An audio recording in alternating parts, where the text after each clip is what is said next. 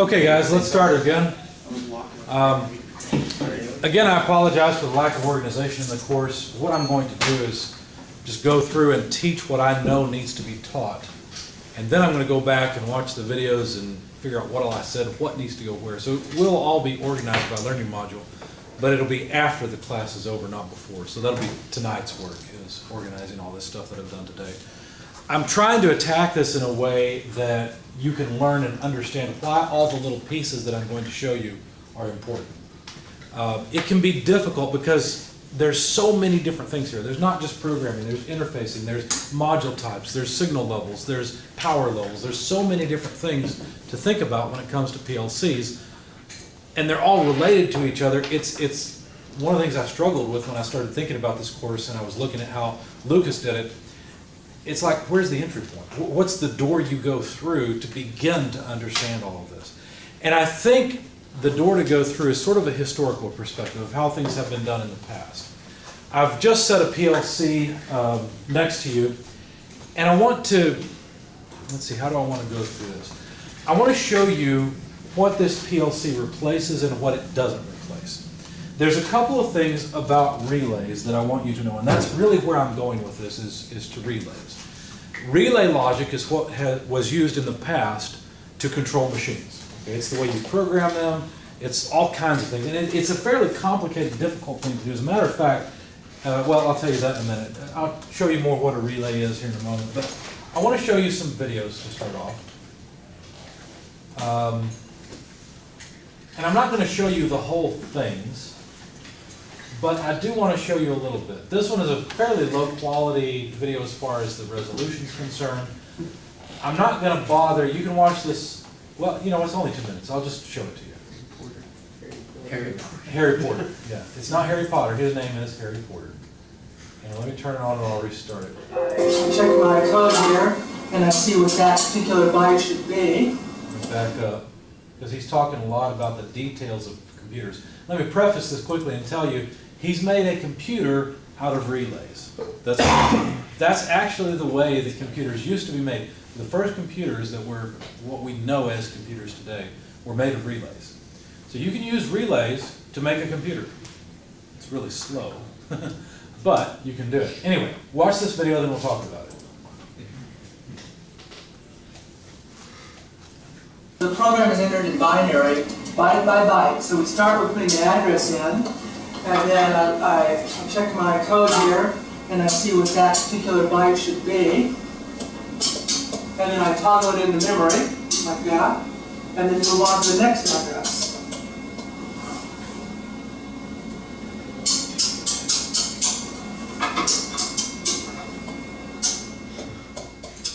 So these are the I wish they had put much later as a title. Yeah. registers here there are eight 8-bit registers. And this is the arithmetic logic unit right here. The ALU takes its inputs from the B and the C registers, and the output is fed back onto a data bus. There's an 8-bit data bus running up and down, eight parallel wires essentially. And so, for example, we can select a register like selecting the B register, and then you see down here that that value comes out on the bus and then we can load it into a register, such as the X register here, and then unselect it. And over here, you have the program counter, the instruction register, and some other stuff. There's also a 16-bit bus for addresses. And then in this box here, you have the program control and the sequencing and instruction decoding, and also the memory unit.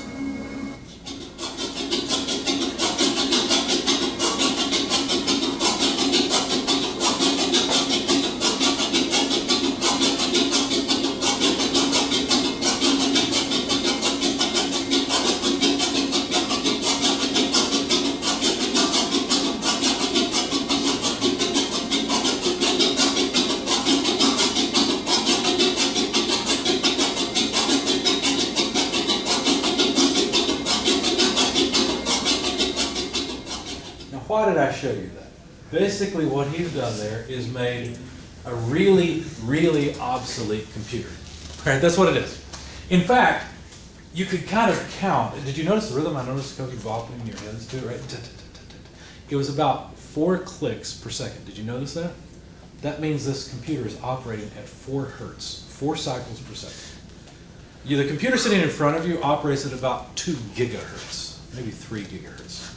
So four things per second versus, what's a gig? Is it a 10 to the ninth if I'm thinking right? Mm-hmm. Yeah. So, mm-hmm.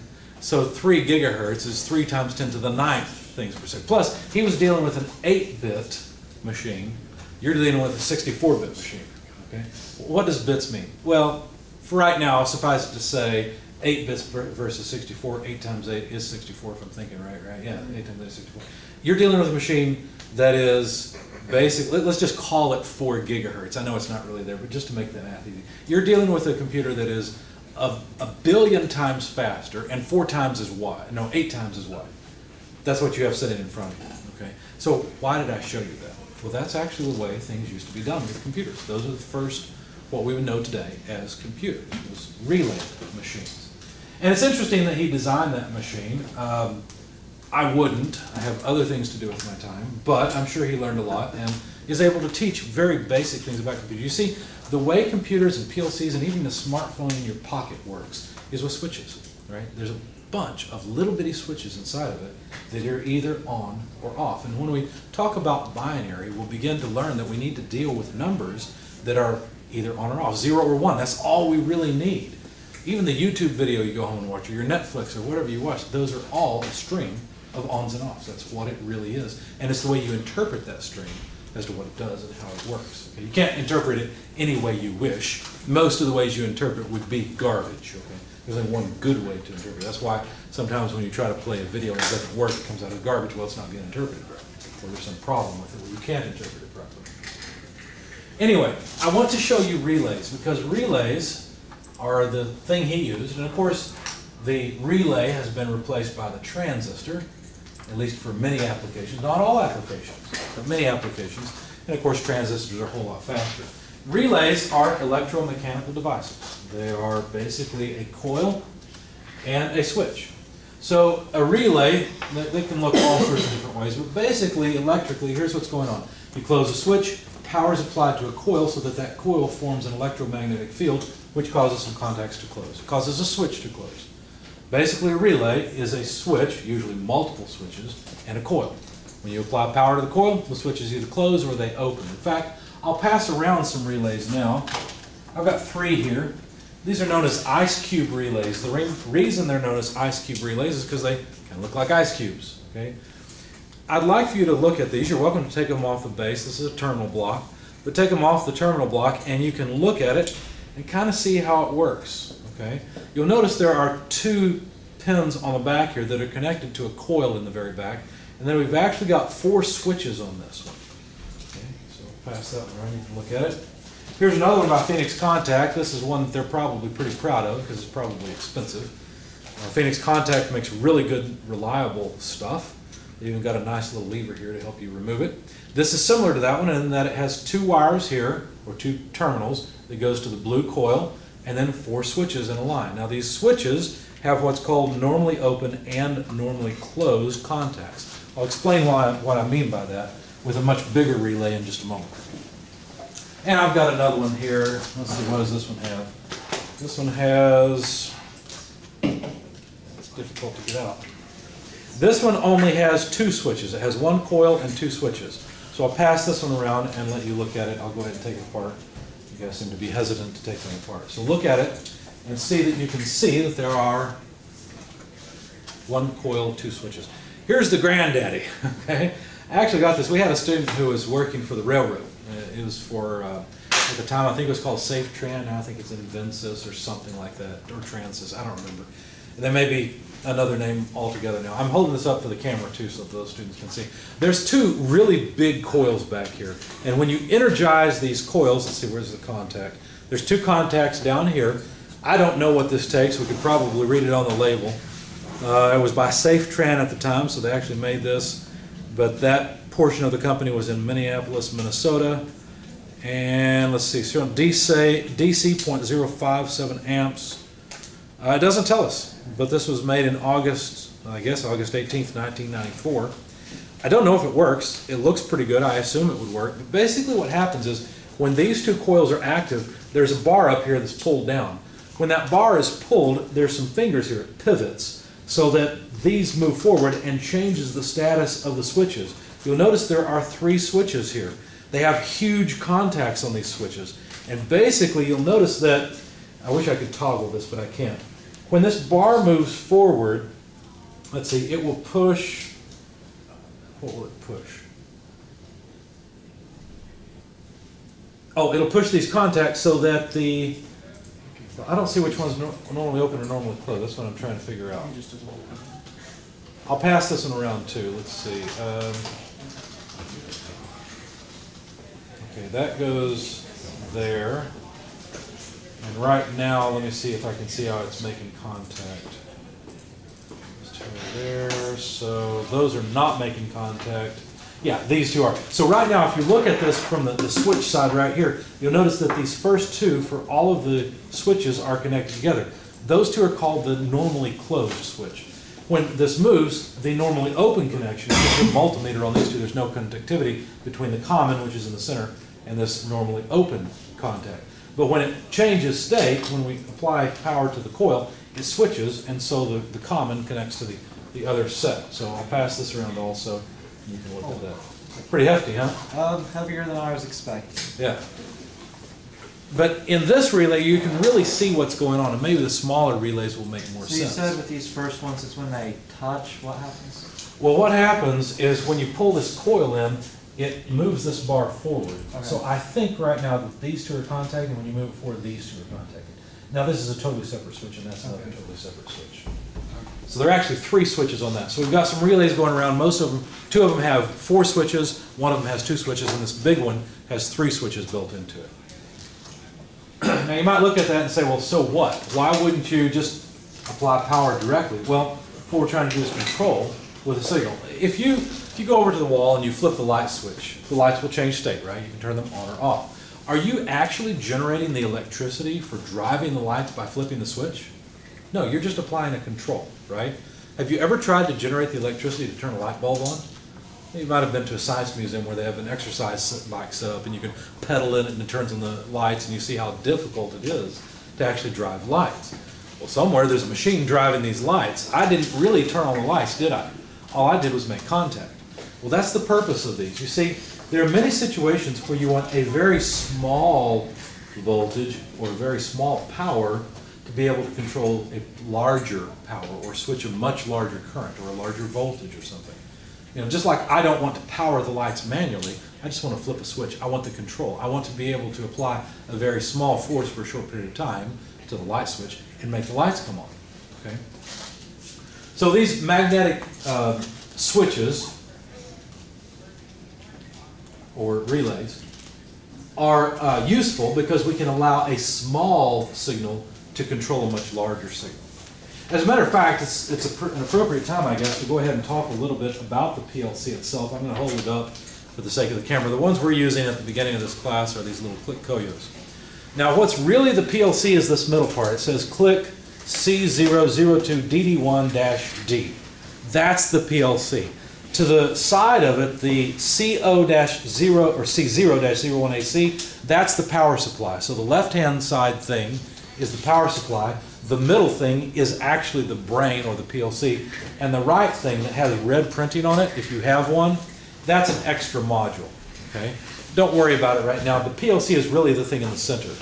Now you can't plug the PLC directly into the wall. You have to have a power supply because the PLC needs 24 volts DC, but that wall socket gives us 24 volt or 200, 120 volt AC. Does that make sense? So we have to have a power supply to give the PLC what it needs. But this PLC is not really designed to give power out to a machine. In other words, whenever you have a device, let's say you have a motor, whoops, you have a motor or something, and you just plug it into the wall to make it go, or a hair dryer, or a, you know, an electric razor or something, right? You plug it into the wall, turn it on, it goes. Power comes from the wall, it comes from the socket. The sockets that you see here, all these things where we can connect wires, those are not for just giving power out of. It's not like the PLC can just give 120 volts to something, or 220 volts, or 480 volts three phase, which is an industrial type of electricity. It can't put that out from this little bitty port. This is a little bitty machine. It can only provide small control signals, kind of like you can only provide a small control of flipping the light switch. Does that make sense? So we need relays in order to basically have the PLC turn a coil on, which can switch a larger, larger contact and turn on a much bigger thing, like a big motor or something. Any of you been through 320 with me? You have. Did you? Did we go on the tour of the Canyon Road Power Generation Station? Okay. When you go on that tour with me, if you get to when you get to 320 Thermo 2, um, I'll take you to a power plant where they're generating electricity. Okay. And they've got a cooling tower. Now, this cooling tower is about the size of this building. Okay. On the top of the cooling tower, they have fans. I shouldn't say fans. They're more like helicopter blades. Okay. There's 10 of them, and they're driven by motors that are not motors. These are motors that are this big around. Okay. And they're about as long as one of these tables. Huge motors to drive each individual fan. Do you think this little PLC could provide the power or switch the power to it? Of course not. The purpose of this PLC might be to control it, but it's going to switch a relay, right? What it's going to do is switch power to a coil so that a much bigger relay, like that big one that's going around, can then have a much bigger switch for actually applying power to the motor, you see? So relays used to serve two functions. One of them was switching large amounts of current. They still serve that function. The other thing you could do with a relay, because there are multiple switches or multiple contactors in the relay, you could actually set up a set of contacts and devote it to keeping the coil on. You could bypass the switch, so you could make the relay turn itself on once it was already on.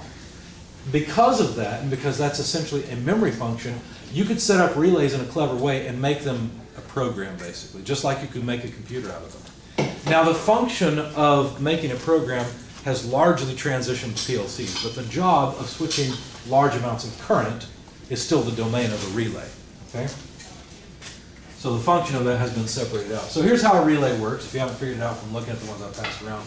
Usually you've got some type of spring on the armature, you've got a movable contact and fixed contacts, and when it's de-energized, the armature is in contact with one of the fixed contacts. So if I put a wire here, I could pass current to that point. You see, I could turn on a light or something.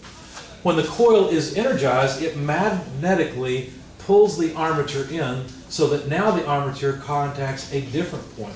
This point would be called the normally open point because in the de-energized state, it's open and there's no electrical connection, whereas this is the normally closed contact, you see, and this would be the common contact. So when the relay is pulled in or energized, then the common is connected to the normally open terminal. And you can use this for switching whatever you want. Okay? But that's basically how a relay works. Hopefully that makes some sense of the relays that have been passed around. So it's often the case that you have an armature that is connected or that can connect to either the normally open contacts or the normally closed. Right now the coil is not energized, it's de-energized, so the armature is connected to the normally closed contacts. You'll start to see symbols like this that sort of indicate normally closed. I don't want to make too much of a, a, a bridge in your mind between this and normally closed because this is more of a PLC instruction, but we'll get to that a little bit later. The point is, we have normally closed and normally open contacts, and when the, the uh, item or the relay is energized, the normally open contacts are actually closed. They're active, and the normally closed contacts become open. Now here's a symbol for a uh, relay. We've got a coil that says M on it. That M is for motor starter coil and then we've got a contact associated with it. In other words, there's an understood bridge between these two and a, a magnetic bridge so that when this coil turns on, the switch changes states. Okay. CR might be what's labeled in the coil part, and that's used for a control relay. Now, a motor starter is a relay, but it's a special type of relay for actually driving a motor. That's why it's called a motor starter. Whereas a contact relay or a control relay is more often used for signals and things. So don't worry about it too much. The point is there's many different types of relays. Okay, so Uh, let's see. Here's a control relay for, for controlling two pilot lights. And here we are in the state where the switch is open, the coil de-energized. I'm pausing here because I haven't shown you what this is. This is actually a really clever idea, the way this is being shown.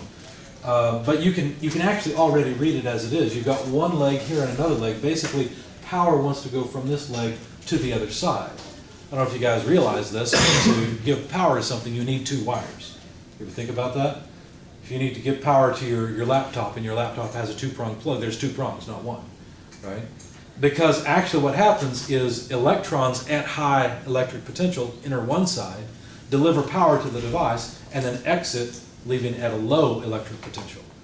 Uh, one of the problems I have is I don't know whether I should teach you guys much about electricity and what it really is and how it really works. But I'll go through very quickly, and maybe this will help you, because this is something that took me a while to figure out too it's, it's more like potential energy, where you have some weights that are high up in the gravity field, and you let them fall doing work. That's basically what the electrons are that come out the wall. Okay, they are electrons that are at high potential energy, and you can use that potential energy to do something. So when you use power coming out of the wall, it's a lot like uh, a mill wheel. You guys ever see that, where they let water flow over a wheel and turn it and grind grain or something? Well, the water goes from high potential, or high up in the air, to low potential, and in the process turns the wheel. The water doesn't change its nature, right? All that has changed is its elevation. In the same way, electrons may go into your laptop charger, but they come back out. When they come back out, they have less energy because they're at a, letter, a lower electrical potential. It's actually a really good way to think about it. It helps clear up some of the misunderstandings mechanical guys usually have about electricity. But anyway, I want to show you more about this, and then we'll come back and look at this quickly. Have you guys ever taken apart a electronic device? So you take apart some old electronic, maybe an old radio or something that you don't use anymore, uh, or even that old microwave over there, and you find a little circuit board. If you look at the circuit board and you've had no electrical training, you probably look at it and go, hmm, well, I know this does something, but I don't really know what it does. I know it has input, probably some power, maybe has some sensors, maybe takes some switch input and controls things, but I don't understand how it works. It's really difficult to understand electrical circuits until you have a schematic or a way that it's laid out where it's simplified. And the key is to realize that these electrons at high potential are trying to get to low potential. They're trying to flow from high to low, just like water at high elevation. If you give it the chance, it'll flow down, right? It'll flow downhill. Well, if you lay out a schematic like this, it becomes very easy to read. Let me explain why. This is actually a schematic from a heat pump that I bought many years ago. I don't have them anymore. I ended up selling them. But inside of the, the panel was a, a schematic to show you how the device operated. And basically the idea was you had two legs, two different wires coming from the power supply, in this case either 208 or 230 volt single phase power, and there's a difference in electric potential between the sides. So electrons want to go from here to here or vice versa. The point is they want to be connected somehow. Now, obviously, if you just connect these two wires, you get a spark, the breaker opens up, and you no longer have power. You got to go flip the breaker back on. But if you put something useful between these two, like an electric motor, then the motor will run. Okay. And so what you notice here, this COMP. Now that I've told you that it's a heat pump, any idea what COMP might stand for? The coefficient of efficiency for pumps. Uh, that's COP. It's the compressor. This is the compressor unit itself. Okay. So when this switch is closed and this switch is closed, power flows through the compressor and operates it. It turns on, in other words, right? So CC stands for some contactors, uh, basically the switches on a relay. And in fact, you'll notice that this CC switch has a corresponding CC coil down here. These two we understand are connected magnetically. When we apply power to this CC coil, that pulls in the contacts, so the compressor comes on, you see. Now, the way this is laid out, you can begin to understand it because you understand the compressor here has little to do with the fan, which is right here, the blower, right? It is its own little circuit that can be powered. We don't have to understand the whole circuit to understand how this works, this little piece works. And that's the nice thing about a diagram like this. In fact, these electrical diagrams are the inspiration for ladder logic, which is what we're going to program. When you program that PLC in front of you, it's actually going to look somewhat like this. Now, you'll see a lot of switches, or you'll use a lot of switches, and you'll use a lot of output coils. You won't have a whole lot of specialty symbols like you see strewn throughout this, okay? But don't worry about all that. The point is that the, the language we're going to learn to speak looks a lot like this. And it's because when PLCs were made, uh, the, the people that designed them said, you know what, we want a programming language where electricians can understand it and do something with it. And this is a diagram, or the type of diagram that electricians would be very familiar with and very comfortable with. So they wanted programming to look a lot like this, and it can actually be done fairly effectively. Now, there's another item here. I'll go ahead and complete some of this so you understand it. Not really relevant to the course, but you may be curious. This uh, uh, component here is not a switch. Notice it has a curved line on one side. You guys have all had the electrical course, 224, right? What is that? Capacitor. Capacitor, that's right. This is a capacitor. Anybody know why you might have a capacitor wired with that compressor? I, if I remember correctly, it evens out like the, You're thinking of converting AC to DC and leveling out the converter. yeah, I was, that's probably what I was thinking of. I couldn't remember what it was called. I'll give you a quick hint about this. You probably have one at your house. In fact, when my mother was still alive, she called me up one day and said, hey, it's hot. My air conditioning is not working. Do you have any idea what it might be? I said, I don't know. I'll come over and look at it. So I went over and looked at it. Turns out you need a capacitor in order to get the compressor to even start. Her capacitor had died, basically. I was able to go down to the, the appliance store, get another capacitor, throw it in, boom, she had AC again. It was nice to be able to help my mom, you know. But you need what's called a motor start capacitor for certain types of motor, and that's all this is. It's just to help the, the motor inside that compressor start, okay? Uh, there's also a blower down here. I'm going to skip this line because I don't remember what this is. It doesn't really matter. This is a blower motor down here. You notice that there's a, I don't know if you can read this, but there's a black wire, there's a blue wire, I think it's blue, maybe orange, I don't remember, and a red wire. No, here's the orange wire and purple wire. What are these? Well, this is high, medium, and low. So you just wire up whichever one you want to make the blower operate at whatever speed is desired. And over here, there's a purple versus an orange. And if you look at the note, what they say is, if you have 208 volt, wire one. If you have 230, wire the other. Okay, so that you get the right voltage across the motor. But you'll notice there's another contactor. There's another capacitor here for starting this motor too. But there's a contactor here that says BR on it, if I remember right. And there's a BR, where is it? Maybe it's LR. I, I don't remember that now. The point is, there's a coil down here that also pulls in that switch so that the controls can control this. The, let me move down. If you look at the power and the way it flows, there's a last rung here. Anybody know what this is the symbol for? Transformer. It's a transformer, that's right. We're taking power that's at, say, 230 or around 200 volts and converting it down to the voltage that the control system uses. This would be something that the thermostat would control. Do you think that thermostats have all the power for the compressor running through them?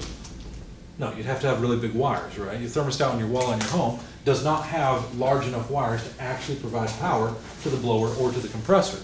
Instead, it has small wires that can provide current to coils in relays, so those coils can close switches and make the system come on. Anybody know what voltage is used for your thermostat at home? 24 volt AC, that's what's actually used. Now, it's nominal 24 volts, it usually varies a bit, quite a bit actually, but it's enough and it works well enough. So what your control system does is it provides 24 volts AC at low current in order to operate the coils of relays, so those relays can pull in switches to operate your air conditioner or your heat pump or whatever system you happen to have, whether it's a furnace. Okay, in a furnace, you'd have to have something to pull in a coil or a coil to pull in a switch and turn on the burner, for example. Open a valve, you know, provide enough power to open a valve so gas can flow through, and then make sure that's lit so that the, the furnace can operate. So this, I wanted to show you this because it's a really nice way to lay out an electrical diagram so you can understand what's going on. That's why over here it's laid out this way. So that you can actually see power is trying to get from here to here. And if I close this switch, it can go through that coil and operate the coil. Now what happens when this switch is closed? Well, right now the switch is open, the coil is not energized, that means these contacts are open, right? Okay, this is a relay. So this output is off. The normally closed contacts that are also associated with this relay are closed right now. And so this item, whatever it is, is on.